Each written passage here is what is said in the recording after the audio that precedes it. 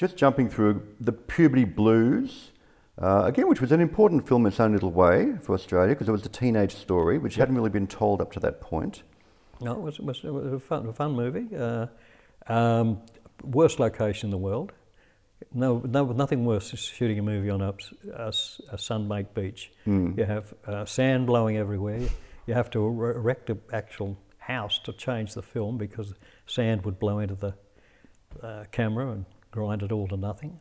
And um, no, no, it was it was hell. And you know, just actually being out there, ten and twelve hours a day in the blazing sun. I mean, I can remember the crew first day all arrived in their bloody bikinis and little shorts. Three days later, we looked like a bunch of Arabs all Did you find the same thing with Breaker Morant out in the desert, the, the sand getting into everything? No, well, um, Breaker Morant, mud was more our problem than sand. Mm. Yeah. Now, there's one here that I confess I haven't seen, but it intrigued me The Tempest with Paul Mazursky. Hmm. Um, You should see it. and you've done a couple with Paul Mazursky since I did then. four with Paul. Right. Um, what was it like working? And this is your first real American director that you've worked with? Uh, uh, uh, Tempest was the film that broke me into the States. Yeah. Uh, so how did that come about? three films, Breaker Morant, My Brilliant Career, and Getting of Wisdom, which we mentioned, Mm. all opened to a fluke within about two weeks in New York. Uh, the uh, local journalists eventually found out that they were all shot by the same guy and took a little interest in that. And so did um, Paul's secretary, who said, You should see these three films this guy from Australia shot. And Paul, for some reason, was fixated about somebody being able to hand, handle the harsh sun of Greece. God knows what that was. Australia, Greece. yeah, so anyway, so I get this phone call three o'clock in the morning, and the outcome was uh, that um, uh, I'd go to uh, Athens for two weeks with him, and we'd run around Greece. At the end of two weeks, he'd decide whether he wanted to use me, and uh, he did, and it was a fantastic experience. I shot in New York and a fair bit of Greece, and um, and that that film was the entree to the A team in the States. From Yeah, and this is John Cassavetes, Yeah, um, Gena Rowlands, I think. yeah. So, you know, again, so you jumped Ju- right into the deep Raul, end. Raul Julia, yeah, yeah. Yes, and, and you're doing Shakespeare.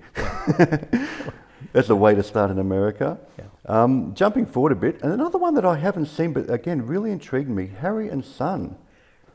Co written, directed, and starring Paul Newman. Yep. So, what was that like? I mean, how did that happen? Well, um, well, I was invited to shoot it. Um, Paul was directing. He wasn't a great director. Was to this be fir- honest. first and only he's done, directed, I think? I don't know what else so. he's done. You couldn't meet a nicer guy. Um, uh, and um, it, it, it was a mediocre film. I mean, I had a lot of fun shooting it with him, but I, I sort of realised that it was. Uh, Well, here's a case where, lovely as the man may be, he's a great actor, Yeah. not an experienced director. Um, is this a case where you're helping them a lot more than you would with other people? Yeah, uh, um, and I was helping him too much, uh, but I had to. Uh, that's that's when you know you're you're in trouble. When you know when you you're stepping into areas that you shouldn't step into, and you're being welcomed in there.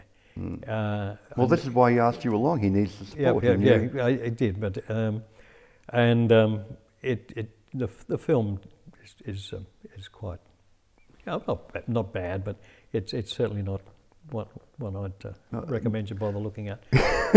oh, look, I'd look it up just uh, curiosity. Paul Newman and yourself working together. But Tempest, I'd have a look at. It's Tempest good. looks interesting too. It's a good film. Yes.